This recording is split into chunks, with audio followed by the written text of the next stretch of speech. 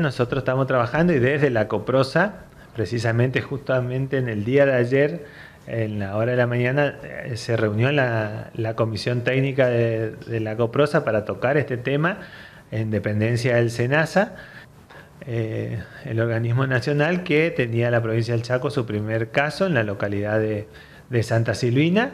Eh, yo me he comunicado ya con la intendenta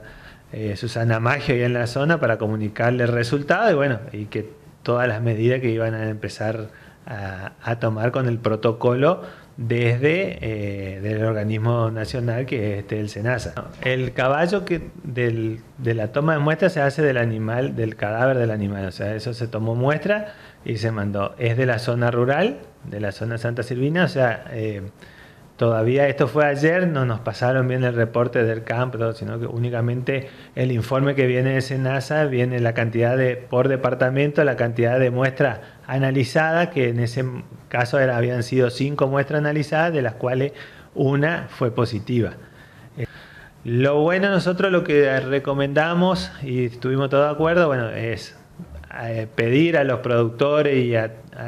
todo el... Eh,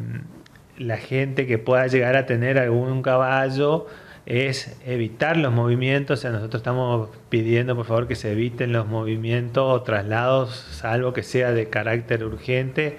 poder eh, eh, trasladar algún animal por alguna situación, pero evitar todo lo que sean las concentraciones masivas de, de equinos, ya sea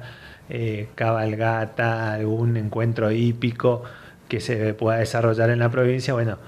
hasta el momento limitar eso eh, y que ver eh, que la posibilidad de no realizarse debido a que para no tener algún caso o, llegar a propagar más eh, el, estado de situación. Por lo menos hasta que se normalice con el tema de vacunación. O sea, yo creo que en los próximos días ya va a haber disponibilidad de vacuna y una vez que cada,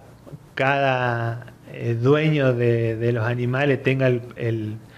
protocolo y el calendario sanitario adecuado con las aplicaciones de la vacuna, pueda realizar los movimientos y los eventos que, estábamos acostumbrados. Eh, lo recomendable, incluso Senasa está, eh, si no sale hoy, sale mañana, los productos habilitados para uso de repelente en equinos. Eh, y bueno, y, y la gente que, que se va o tiene contacto, porque eh, o va a, la a hacer eh, visita a los campos, recorrida, bueno, extremar el uso de repelente y tener todos los cuidados.